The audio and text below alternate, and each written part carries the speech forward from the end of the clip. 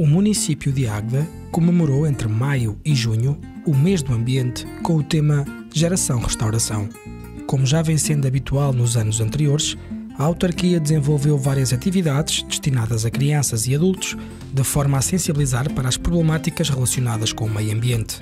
A programação assinalou também vários dias temáticos, como o Dia Internacional da Biodiversidade, o Dia Mundial do Ambiente, entre muitas outras celebrações durante este período.